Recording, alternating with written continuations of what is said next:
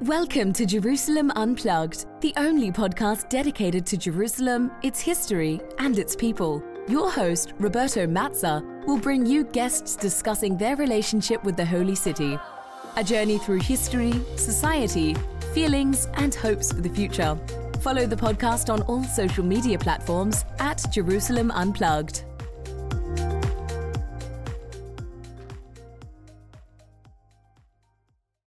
Welcome to Jerusalem Unplugged, the podcast dedicated to Jerusalem, its history, and its people. I'm your host, Roberto Mazza, and today it's with great pleasure that my guest is Andrew Lawler. Andrew is the author of a number of books, but for the podcast, is the author of a recently published book by Doubleday, Under Jerusalem, The Buried History of the World's Most Contested City. Now, Andrew is also an author and uh, journalist for a number of uh, magazines and newspapers like the New York Times, the Washington Post, the National Geographic. But more importantly, in recent times, he published several articles that, will, that are available on his website, and I will post the link, dedicated to digging uh, an archaeologist and archaeology in Jerusalem. And of course, we're going to talk about it with plenty of details. But first of all, Andrew, welcome. Thank you, Roberto. It's a great pleasure to be here on Jerusalem Unplugged. Andrew, you wrote uh, several books, three in fact, one secret token about sort of mysteries in America and why did the chicken cross the world, which is a fascinating book, by the way. And, you know, a number of articles, obviously, for the Washington Post, the National Geographic, the Smithsonian, and so forth. But none of them really dealing with Jerusalem. So how did you get to work on Jerusalem? Well, mainly I steered clear of Jerusalem. I mean, I've been writing about archaeology in the Middle East for more than two decades, and I, I just wanted to stay away from it. It seemed too political, too religious, too complicated. It was so much easier to write about a, a nice mound out in the middle of the Iraqi desert. Uh, and then uh, it was just one of those things. I was at a conference in Haifa uh, on I believe it was on uh, Crusader archaeology. And I was in touch with Israel Finkelstein, who uh, I'm sure some of your listeners are aware of. He's a, a well known Israeli archaeologist at Tel Aviv University. And he invited me to go to Jerusalem for uh, a little tour, have lunch, take a walk. So we did, but I never got lunch. Uh, and it was a, a, lot of walking, and it was a lot of walking underground. He took me underground, introduced me to uh, a lot of the uh, researchers who are working there. And in the middle of that, though, I, I remember a couple of excavators saying, saying, oh, you see that tunnel there? That was dug by a guy named Warren. And oh, here's Wilson's tunnel. I mentioned all these European names. I wonder what the heck, who were they? So I started to do a little digging on my own. And that's when I discovered this, this whole incredible history of, of archaeology in Jerusalem, which is not just uh, full of amazing characters, but also I found was really at the root of how Jerusalem became as contested as it is today. You're right. Uh, to steer away from Jerusalem is something that, in my nearly 20 years uh, career of scholar working on Jerusalem, sometimes I think about it like maybe it would be a good time, and it's a good time now to move away. But I, I, I think eventually I got uh, caught up into the history of a city different ways uh, as a scholar, as a podcaster, and uh, now it's very hard to actually do it. Uh, I was wondering how how did you feel going around Jerusalem as someone who knows a lot about the archaeology and the history of the place, but as you said, you kind of like were not necessarily involved in the city. So you had uh, this missed lunch, but a lot of walk around the city, and that made me think about like what did you see? How did you feel walking around Jerusalem? Well, I was floored to discover how much was happening underground. And obviously, most excavations that you see these days are above ground. You, you, there are people that are digging a trench uh, in some place that's easy to see, and you look down, and there it is. And in Jerusalem, there are a few of those digs, like the Givati dig, which is just south of the the the city's Acropolis that is kind of a traditional dig that just you go from the top and you dig down. But Jerusalem is unusual in its history because from the beginning, people were digging tunnels. and they're still digging tunnels today. So a lot of what is going on beneath the ground is simply not visible. And that's not only, uh, well, that's for a lot of reasons uh, political, religious, and scientific all at once. Moving to, uh, to your book, uh, the book starts with a fascinating story, one that is largely neglected. The name of uh, this French individual, who essentially we may argue was the first one to open the uh, uh, long season of excavations in Jerusalem, is Louis de Saulcy. Louis de Saulcy, in 1963, in a sort of a, unofficial and certainly unsanctioned uh, way, began excavating a specific area of Jerusalem. And then ever since, essentially, archaeologists never stopped digging around the city. And I was wondering if you can tell us a little bit more about Louis de Saulcy and what is the story behind him, and, and essentially what is his legacy 200 years later. Well, his legacy is, is quite something. In fact, the controversy uh, around the place where he digs continues today in the form of a lawsuit uh, against both the Louvre and, and, uh, and the nation of France. But let me explain who he was. So de Saulcy was uh, a French uh, a Frenchman who rose in the ranks and became a confidant of uh, Napoleon III, who at that point was the emperor of France. So we're talking the 1860s, and he was really eager to go dig. Now the Sultan, who was in, in Istanbul, uh, was the head of the Ottoman Empire, which included Jerusalem in those days. So when Saulcy wanted to dig, he asked the uh, emperor to use his uh, influence, and the Sultan in and Istanbul was only too happy to say yes to a request from the French emperor, because this is a period when the colonial powers in Europe are expanding. And the real prize of the 19th century was the Ottoman Empire itself. And the uh, Sultan was eager to get French help, both uh, military as well as financial help against the Russians who were pressing down, pressing down on the Ottoman Empire from the north. So, from the beginning, the very first dig permit that was issued uh, in Jerusalem uh, by the Sultan was tinged with, not even tinged, it was heavily political. So Saulcy shows up and he began to dig in what was called, and what's still called the Tomb of the Kings, which is the most magnificent tomb in Jerusalem. It's this underground tomb just outside of the old city. And now remember that archaeology really didn't exist in those days as a science. It really was people digging for treasure. Uh, people still didn't understand the way to understand the, the levels uh, to be able to uh, do the kind of analysis necessary to really peel back what's going on at particular times. This was a time when you wanted to get the cool stuff. And de was convinced that he had found a sarcophagus that had an ancient Judean queen inside of it. Now, of course, that turned out to be false. Actually, this queen, if she was indeed a queen, probably lived a thousand or two thousand years later. Um, but that didn't stop de from hauling this off to the Louvre, where it became a sensation. It's the first piece of biblical history that you could touch. And meanwhile, in Jerusalem, the local Jews were furious that this tomb had been desecrated. They viewed it as a tomb of their ancestors. So from the beginning, you have this tension between the people in Jerusalem who lived there and these Europeans showing up wanting to find biblical history, and then this overlay of politics above of the Sultan in distant Istanbul allowing this Frenchman to do this uh, desecration, if you will. While the city of David, the so-called Givati parking lot excavation are certainly very popular, the Tombeau des Rois, or the Tomb of the Kings, is certainly less known, mostly because it's actually closed. Uh, so for those who have the possibility of going around Jerusalem, walking by Nablus Road in East Jerusalem, you can see a sign, but really uh, it's been open only occasionally for a short period of time, but no one really has access to this uh, particular area. And I personally always found it fascinating, and I always would try to climb a little bit just to see exactly what's on the other side.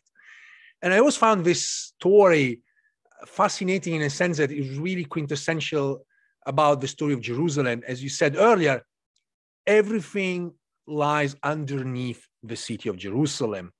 And I was wondering, after the Saulcy excavation, how did archaeology develop uh, in Jerusalem, particularly in the period uh, under you know of the British rule, so after World War One.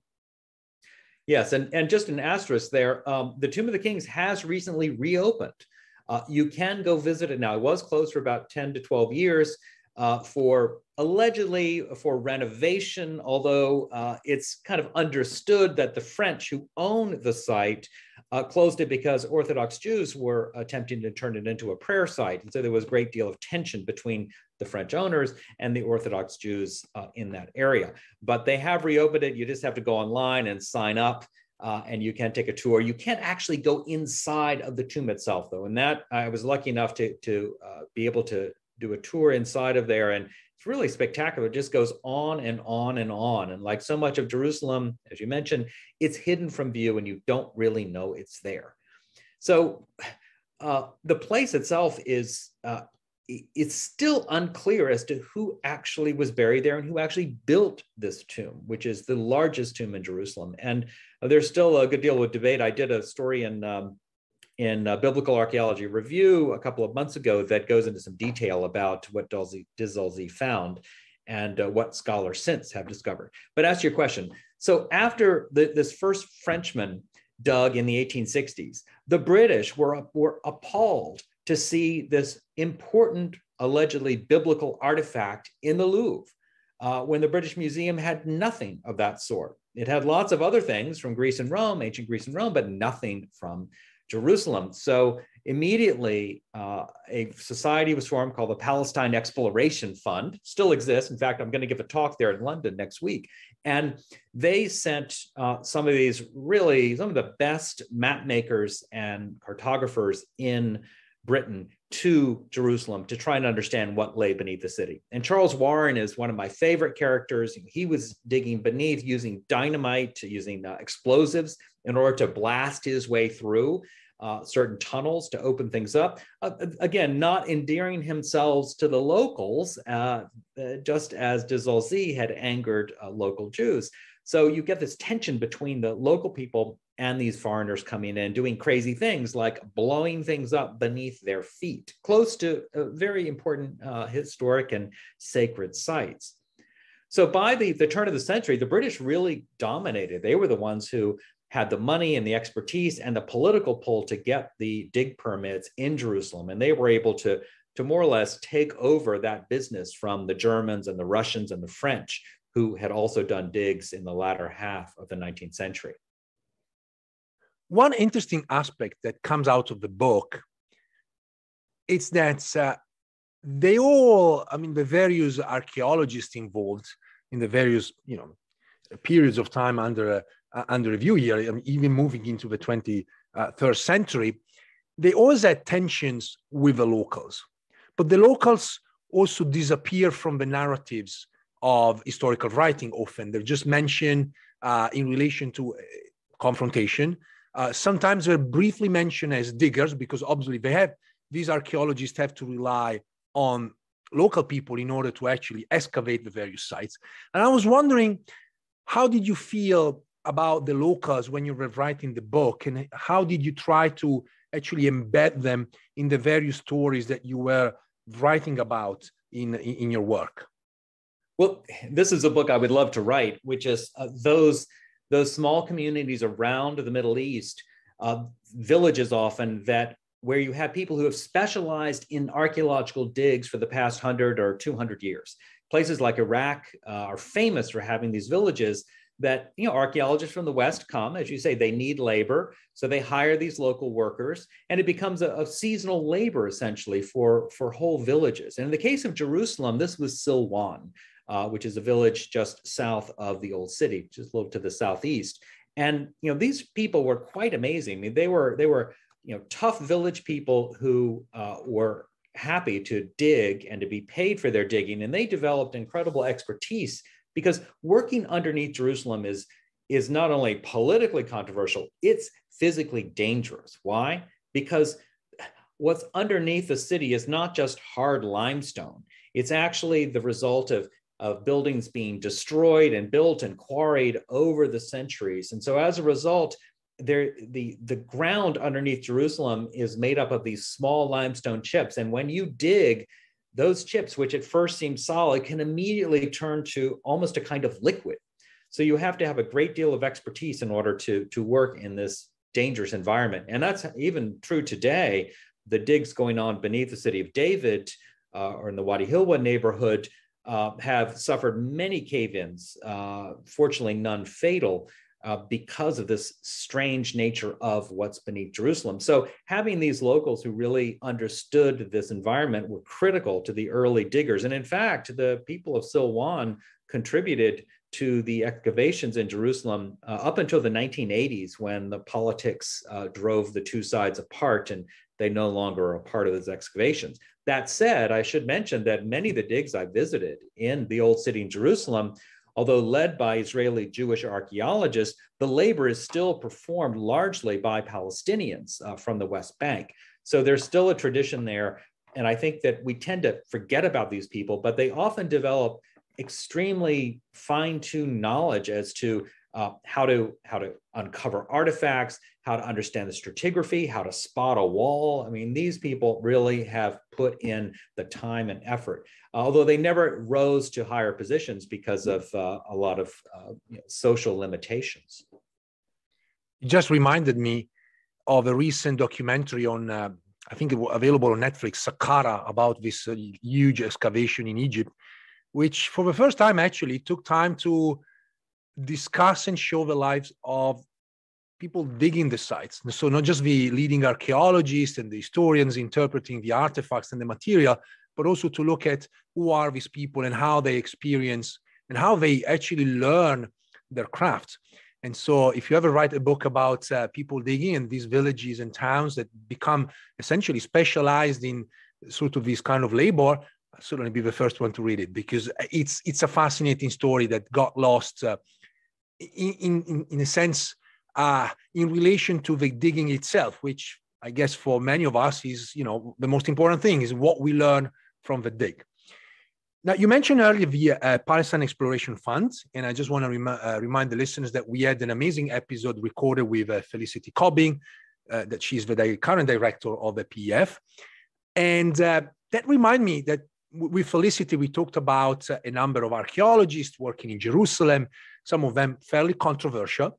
And so before moving to uh, the various digs and the questions I have about some of them, I was wondering if you had a, a favorite uh, archaeologist um, while you were writing the book that, you know, sort of uh, drew a lot of your attention or stories that made you think about uh, this particular individual. Oh, absolutely. You know, and this this was somebody who was actually not a uh, part of the Palestine Exploration Fund. In fact, the Palestine Exploration Fund had to put out a notice saying that this guy has nothing to do with what we are doing. And this is a British aristocrat named uh, Montague Parker. And this guy is this story is simply blew my mind. It's, I did a, a, chapter on it, but you certainly could do a whole book. And people have recently. There are a couple of books that are coming out or have just come out about him. So Montague Parker was a British aristocrat who had too much money and too much time on his hands. So turn of the last century, around 1910 or so, he put together this team made up of a Finnish scholar who had this idea that he had cracked the code of Ezekiel, which would reveal where the Ark of the Covenant was hidden. Of course, it was hidden in a tunnel beneath Jerusalem. Uh, and then he pulled in a Swiss psychic. He pulled in, uh, I'm not making this up, a steamboat captain from the Congo River who was a Scandinavian you really can't make this this expedition. It was the most bizarre expedition in uh, excavation history. I won't deign to call it archaeology because the one person he forgot to hire was actually an archaeologist.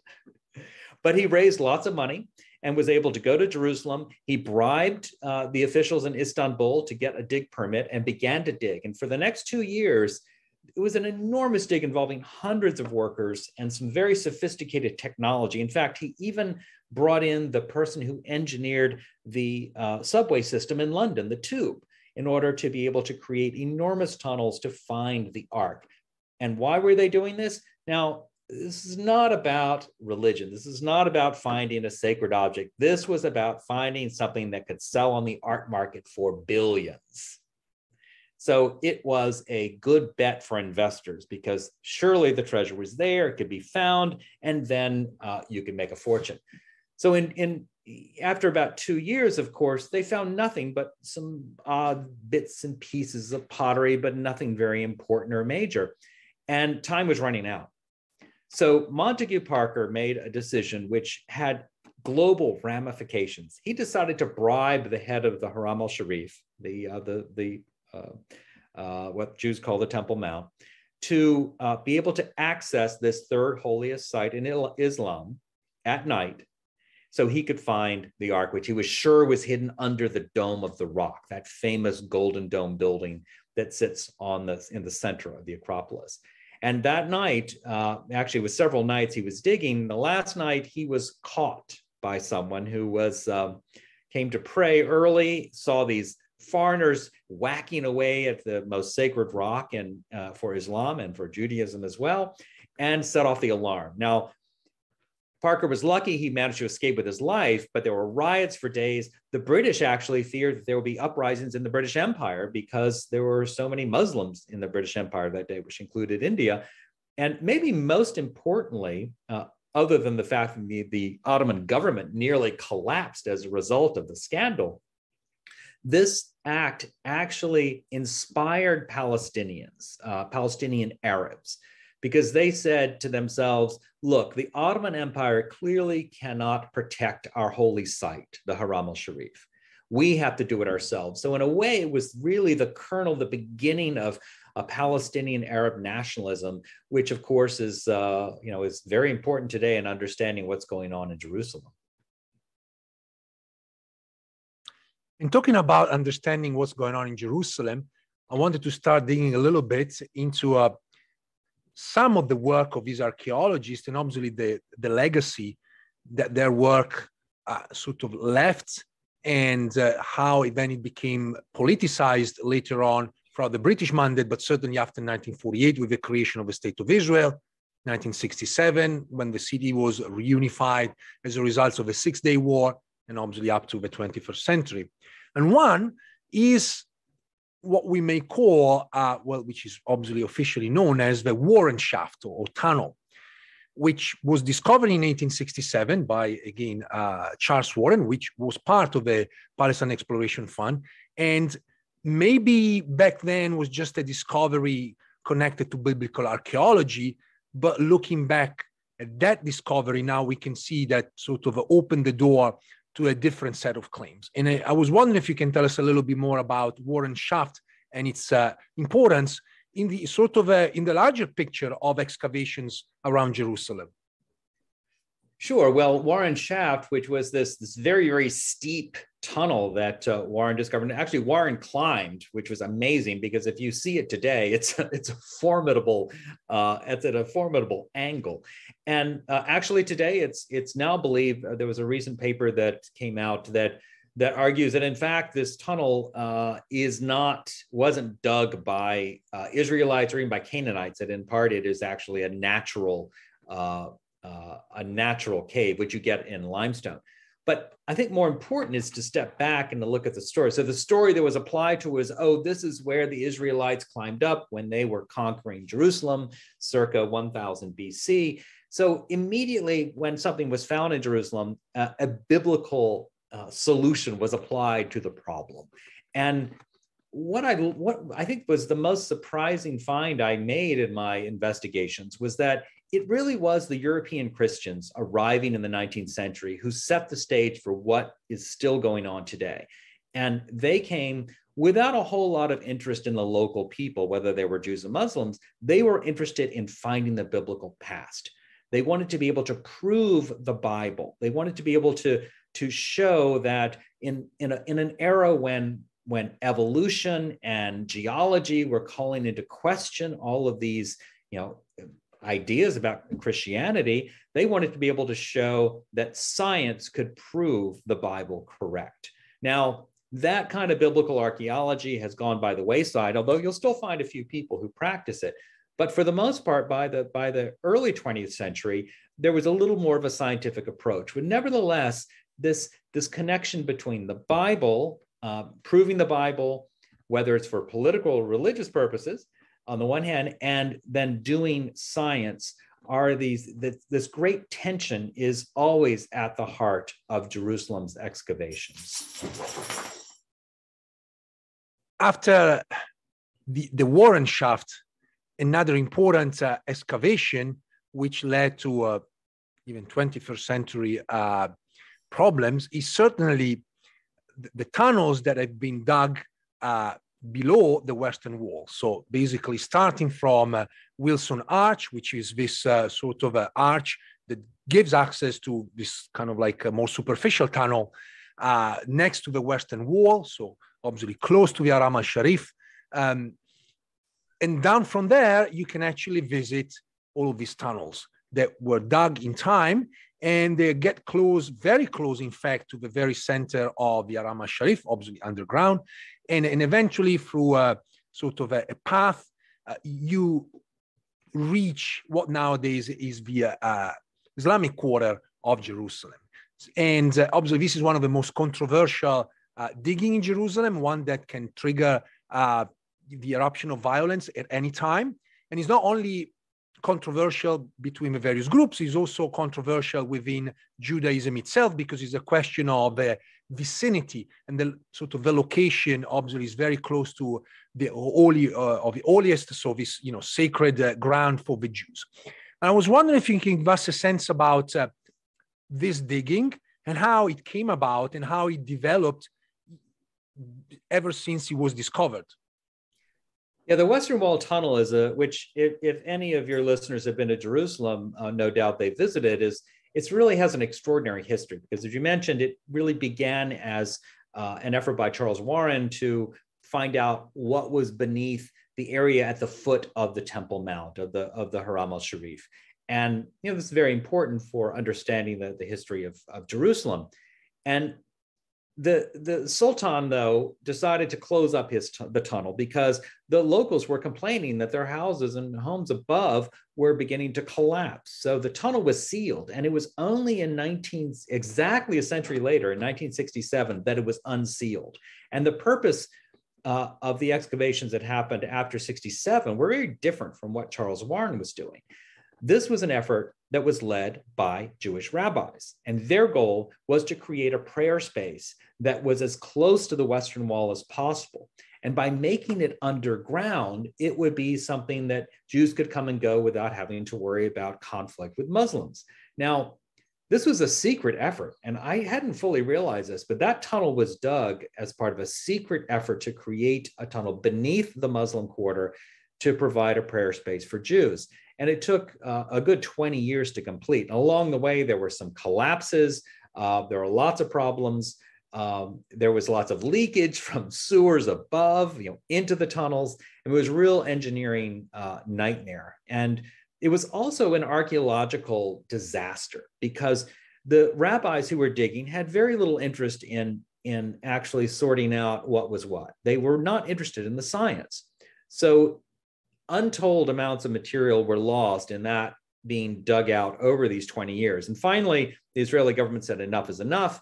And they said that because of the efforts by uh, this one rabbi who actually began in the 19, early 1980s to dig not along the base of the wall, that is, that is outside of the Haram al Sharif, but he actually penetrated inside of it. And this nearly caused a regional war as Rabbi Getz was his name, and he was after the Ark of the Covenant. So here we have again this desire to find these ancient artifacts, which is always on the brink of starting a war in Jerusalem.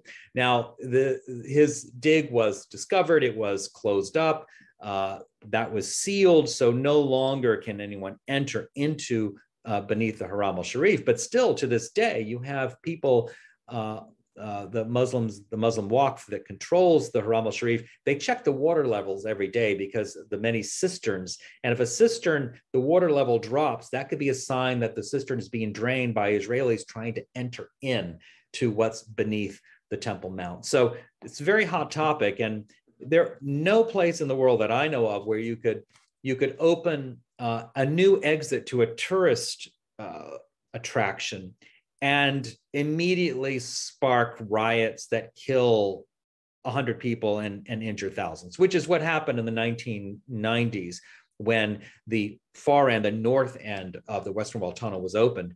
Uh, you alluded to it earlier, and it created uh, enormous violence. And in some ways, it really began the end of the peace process that was begun in Oslo.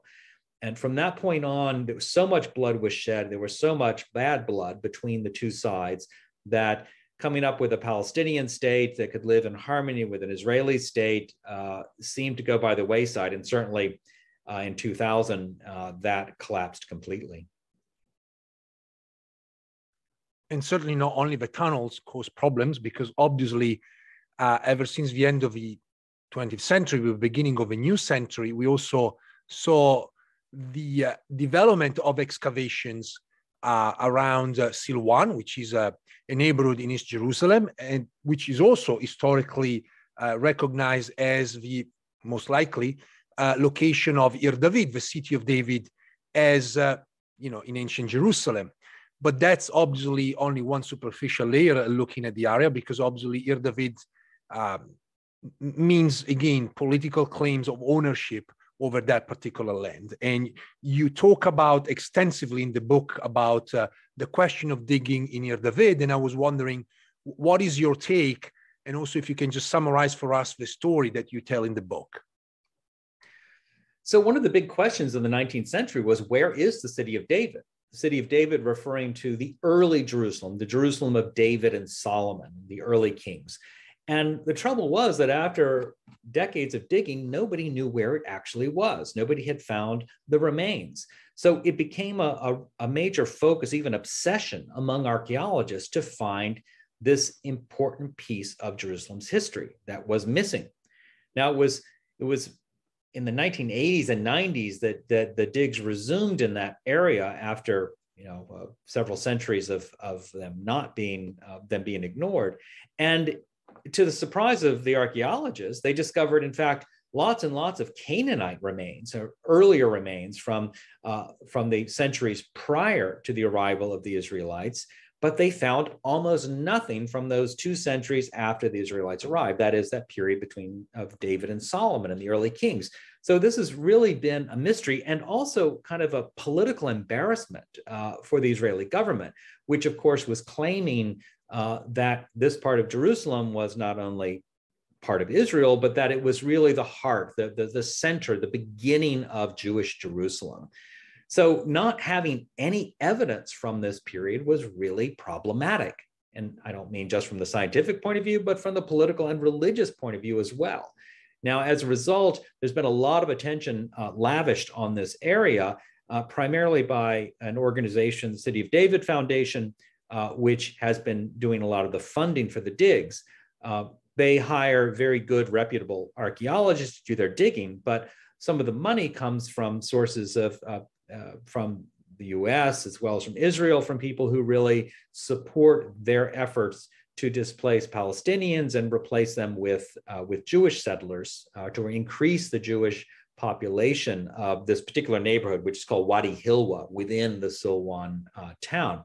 So above ground, you've got high politics going on. Below ground, you've got science occurring, but it's always linked to what's going on above. So this is where it's very difficult to separate the science from the politics and the religion. You know, the, sci- the scientists who are doing the work, many of whom I know quite well, you know, are mostly excellent archaeologists who could do well in any archaeology uh, dig in any part of the world. But they are inevitably tied into the larger political issues. Number one being that most of the world believes that this part of Jerusalem is occupied and therefore should not be dug at all. By extension, uh, that reminds me also of the other uh, dig that you talk about in the book, which is the Givati parking lot uh, uh excavation site or dig, uh, which again is adjacent to a the city of David. And uh, and as you mentioned, I mean, obviously there were claims that that was going to be the place where material supporting uh, claims of the Israelites uh, uh, sort of rule of a city in earlier periods would have been found. But eventually, uh, uh, scholars found something very different. They found from coins related to the Byzantine Emperor Heraclius. They also found, if I remember well, um, sort of a Roman uh, cameo of Cupid, so the, the, the god of, of love, right? And, and it obviously it's, it's very different from what they were expecting. And still, th- this remains an active uh, site of excavation and one that is very controversial. And uh, I was just wondering again if you can give us a sense of the Givati parking lot dig and how how important is this in the bigger picture of the City of David excavation? Right. So the City of David National Park uh, is lies in this this uh, little kind of peninsula of land that comes south of the Temple Mount of the Haram al Sharif, as Muslims call it, and the one corner of it is a national park. Across the street is this was a parking lot. That's why it's called the Givati parking lot. And uh, that is an unusual spot because in Jerusalem, it is extremely hard to find land that hasn't been built on recently. And so here was this one piece of land that promised to reveal uh, a lot about Jerusalem's past because it was a fairly large area that if you dig down, you would be able to find the different layers. And eh, again, extremely rare in Jerusalem to have a large open space that's available for archaeologists. So, unlike uh, the tunnel that's currently being dug under the uh, City of David area, uh, which is has a lot of um, let's just say that's a whole other controversy. The Givati was kind of a traditional dig where they started from the top and they dug down. And sure enough, they have found uh, evidence of layers of virtually every piece of Jerusalem's history going back as far and probably farther than the 586 BC destruction of Jerusalem by the Babylonians. So, what's beautiful about Givati is it has shown all of these layers of Jerusalem's history very clearly from the medieval uh, uh, Arab layers down to the Byzantine layers, down to the, the Roman layers. There's a, there's a Roman uh, villa, for example, that was discovered. The Romans re-engineered that whole area. And then beneath that, you've got remains from the Hellenistic period. And as you mentioned, there's so all kinds of interesting uh, images that have been found, which you wouldn't think to find in Jerusalem, uh, given the taboo on uh, on human images. But clearly, we now can see Jerusalem as tied into the larger world in which it was it, it was placed. It wasn't just a city on the hill that was isolated with its own political and religious beliefs. It actually was tied into the trade routes that were going between the mediterranean the dead sea uh, north of syria south of saudi arabia. You know you have a, a real wealth of connection so for the first time givati is providing all kinds of you know fascinating finds that show us a Jerusalem that is far more cosmopolitan and tied into other parts of the Middle East than we knew before.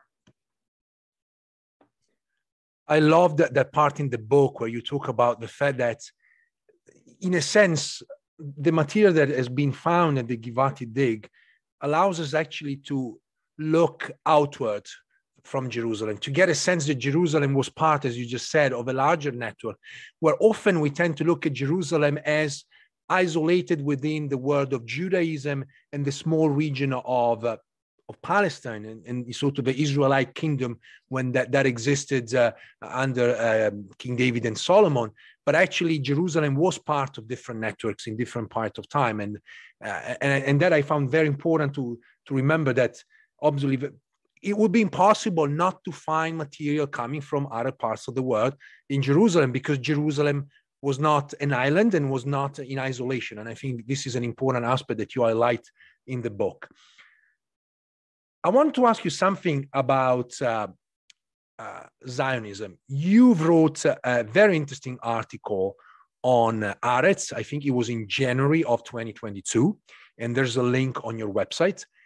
How 19th century Western archaeologists made Jerusalem a Zionist dream, which in a sense picks up from uh, what you just said at the very beginning of the interview that it was the Europeans that brought this modern sense of uh, modern sort of a sense of archaeology and created problems beginning, you know, the uh, mid 19th century, digging here and there uh, for their own purposes, essentially just, uh, uh, you know, looking for biblical evidence.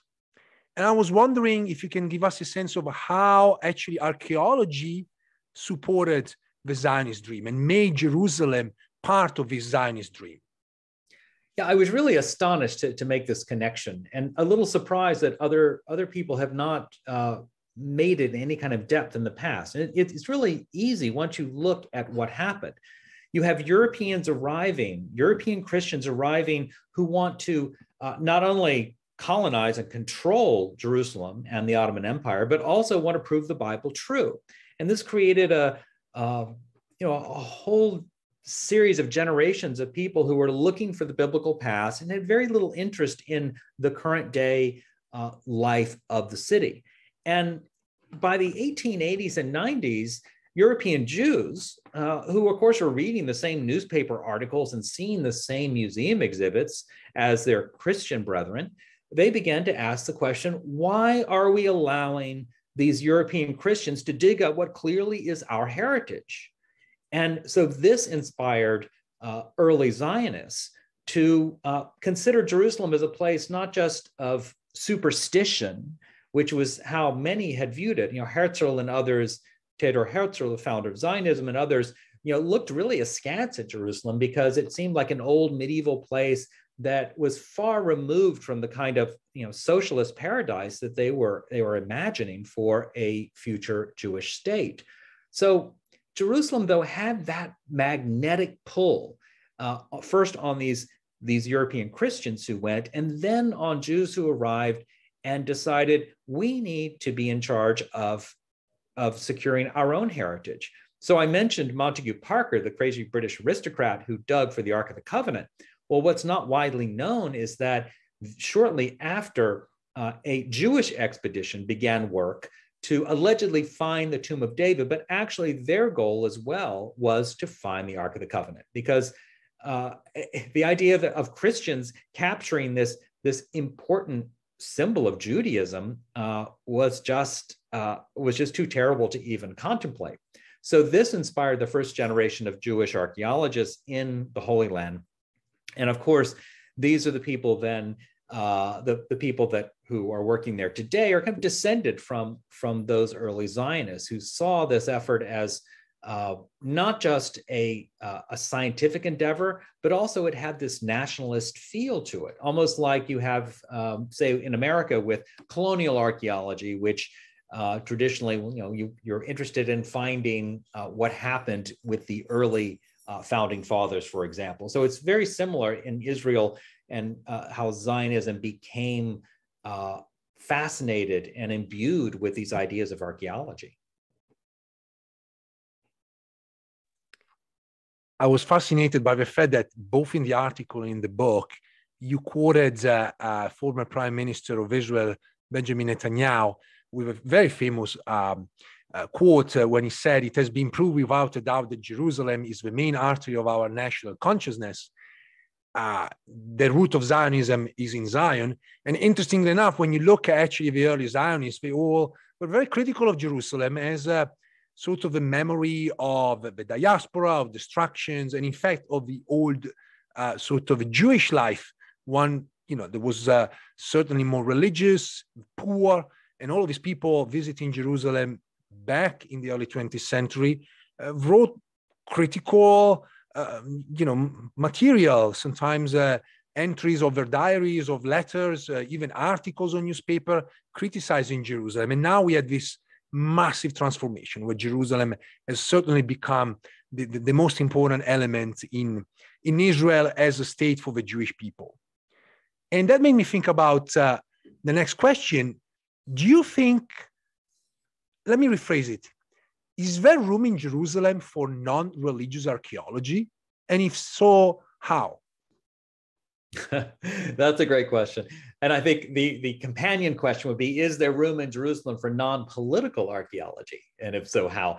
And I think the answer is no, uh, not in the foreseeable future. And I say that with all respect to the archaeologists in Israel who work extremely hard, long hours, tough work, uh, and they certainly are not overly paid uh, to do this work. So, so while I respect the science that is going on there, much of which is very first class, um, I don't think there's a way you can separate the politics and the religion from what's going on in Jerusalem. Just as an example, uh, it would be impossible for a Palestinian archaeologist to receive a dig permit from the Israeli Antiquities Authority. I say impossible. I suppose it's not impossible, but it certainly hasn't happened yet, and it's unlikely to happen because Jerusalem is considered more than just a place for scientists to dig. It is it is the most contested city in the world, and part of that uh, contest is controlling the past, is controlling the narrative of the past. And that is how we define the present in Jerusalem. It's through the past.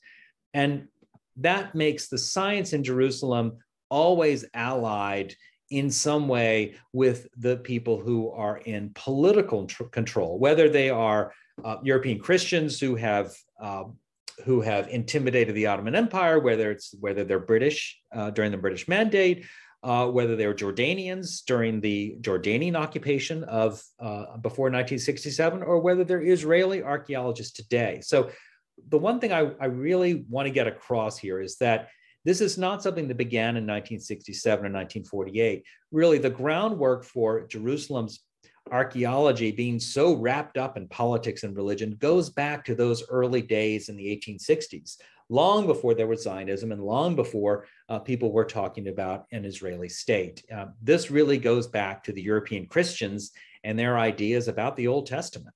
And that is what laid the foundation for the, uh, the difficulty we have today in trying to do science that is uh, somehow uh, apart or separate from the politics and religion. Then I have to ask uh, the $1 million question. Do you think is there a role for archaeology in a future peace process, whatever it may be, whatever it may look like? Or should archaeology be kept aside from political consideration? archaeology cannot be uh, set aside. And in fact, it has to be a central part of any kind of peace that is agreed to. In fact, the, the collapse of the Oslo Agreement was in large part due to disagreements over archaeology about who, who could dig and where and when on the Temple Mount or the Haram al Sharif. Um, this was a this was a central sticking point. This is one of the great obstacles that prevented peace from breaking out in the Middle East. So I think we have to really focus on the archaeology, not just as a scientific endeavor, but as an expression of people's desire to, uh, to understand and own their own heritage. And Jerusalem is a place where many people from many faiths for many millennia have come together and created a very unique and, and beautiful and sacred city. But everybody's got a piece of that. And it's very hard for people to step out of their particular narrative. And archaeology is an important narrative, it's an important piece of the narrative uh, for Jews and Muslims and Christians. So I think we need to think about archaeology differently in Jerusalem than we do in most other places. While I, I, really think that any archaeology that's done anywhere has a political and religious element, I mean, it always does in my experience. Jerusalem, it's just times 10. And once we recognize that, I think that the science can can do what the science does best gather data and come to conclusions that aren't tied to political beliefs or religious beliefs and at the same time it can also give people a sense of their their own heritage uh, and they can read the finds as they will. I wanted to ask this question because often people don't really understand the importance of archaeology in jerusalem and I would say in Israel and Palestine at large, you know, if you think about uh, other countries, particularly the country I grew up uh, in, Italy, where we have plenty of archaeological sites and digging, but often the controversies are among scholars in sort of a interpretation of the past or dating objects and artifacts so about the certain stories of either individuals or cities but they never really reach that level of politicization that also may lead to political violence. And for many, this is hard to understand. And I was wondering, since you worked in archaeology for such a long time, you've wrote extensively about archaeology in the Middle East, how did you reconcile sort of this sort of dual uh, aspects? There is an archaeology which is contested mostly by scholars, but also there's an archaeology that has a, a direct impact over the life of people as of 2022? Well, this is what drew me to Jerusalem after all those years of trying to avoid the place, uh, because this this combination of you know trying to understand the past while doing it in in a charged political and religious context in the present is actually a, a really fascinating human endeavor. Uh, and if you step back and look at it that way, then Jerusalem, it makes Jerusalem a very unique and special place in a way that is maybe different from the way we normally think of it as of unique and special. And that is, it is a place where, where the science can be used as a weapon of destruction or a weapon of divisiveness, or it can be a tool for understanding and a tool for, uh, for appreciating other cultures. Now, science is not going to show us how to do that. That is up to people's uh, faiths and people's political beliefs. And if we decide to take the data that's coming out of the ground in Jerusalem and look at it in new ways, you know, we can see that in some ways it will back certain narratives, and other ways it will undermine certain narratives, whether they're political or religious. And so I think this is the real secret the secret weapon of the science in Jerusalem and elsewhere, uh, archaeology that happens in other places as well, is it can it can pull the rug out from underneath some of our conventional beliefs and show us a different way of seeing the world. And I think uh, most people might agree that that we all need a, a, different way of thinking about Jerusalem if we want it to be a place that lives up to its uh, name as the city of peace. I have a couple more questions, but I'm very interested to hear from you. If you were to speculate about the future, what do you think would be a discovery that might actually change our understanding and possibly the future of Jerusalem? Well, frankly, I don't think that there's anything that could be found that would fundamentally change people's views because as I said, you know, people's views about Jerusalem are pretty set. They're, you know, you've got the Christian story, the Muslim story, and the Jewish story. And within those, of course, you have multiple stories, but you have these three major stories. And uh, so, for example, when Eilat Mazar, a well known Israeli archaeologist who passed away last year, discovered what she claimed was likely King David's palace, this was big news among many Jews and Christians who said, see, this proves that the Bible is true. This proves that Jerusalem was an important place, an important king lived there. Uh, but there were archaeologists who said, no, we don't think so. Uh, the data doesn't quite live up to that billing. And in fact, that's still an ongoing debate. So I don't think there's anything that can be discovered in Jerusalem, even if it's the Ark of the Covenant itself, that would fundamentally change the way we think. Now, that said, I do think that there are small finds that can be made. For example, the discovery that the step street leading up to the Temple Mount that is now being excavated in the form of a tunnel beneath the city of David, uh, that that was probably built under the patronage of Pontius Pilate. Now, that was a shock to many Jews as well as Christians who view him as somebody who was a destructive force, who didn't uh, respect Christianity, uh, certainly not Jesus, nor Judaism. So, I mean, that's a kind of example that I think allows us to see the Roman Empire in a, in a more nuanced way. And I think once we are able to take the data and look at things in a, this more nuanced way, we can let go of some of these you know, old-fashioned conventional views, and I think have a, a, a, clearer picture of what actually happened in the past. Now, whether that changes people's political or religious views, I could not begin to say what have the Romans ever done for us, right? That was Monty Python. exactly. I was trying to remember the, the right quotes. Uh, In fact, I discovered that uh, that the Israeli Antiquities Authority uh, it's a requirement uh, when you become part of the authority that you actually watch the life of Brian, because in many ways it, it, it contains a lot of wonderful accuracies. I have one last question. Now, your book is thick of details and amazing stories uh, and obviously history as it portrays, I would say, the history of digging in Jerusalem since the mid 19th century. Is there anything that I didn't ask, but you think is very important to talk about here uh, on the podcast?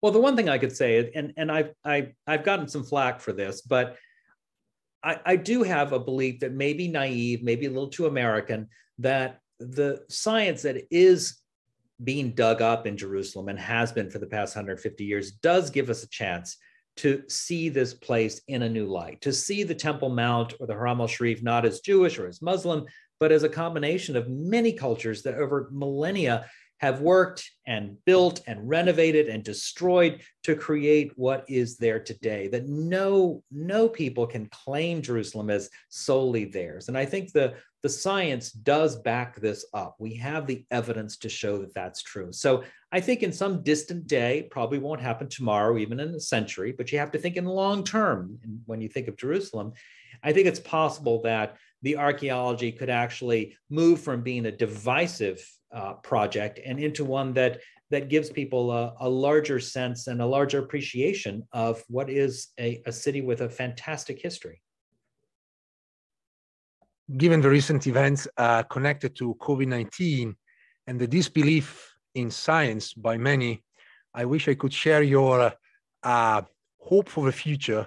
Maybe I'm not American, maybe I live in America, so I start developing that, but it's certainly very uh, hopeful and at the same time very hard uh, to see that happening uh, in the near future i agree but i think we do need to think in in in the long term i mean it took uh, the idea of evolution was something that it took a century or two centuries. It's still not accepted in many places. So i think we have to set aside our idea that this is going to be resolved in 10 years but rather think in in in, in terms of an era rather than a decade.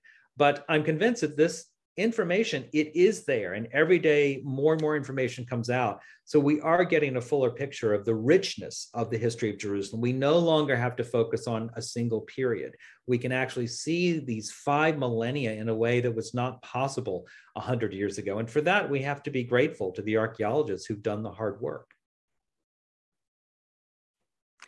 This was andrew lawler author of Under Jerusalem the Buried History of the World's Most Contested City, published by Doubleday, New York, available on all websites where you can buy your books, uh, and certainly in your local bookstore if you can still find one open. Andrew, thank you so much. Thank you very much. I enjoyed talking. And if anybody uh, wants to contact me, you can go to www.andrewlawler.com and uh, just click on contact and I'm happy to answer any of your questions. Thanks for listening. If you enjoyed this episode and you'd like to support the podcast, please share it with others on social media or leave a rating and review. To catch all the latest, follow us on Instagram, Twitter, and Facebook at Jerusalem Unplugged. Thanks, and I'll see you next time.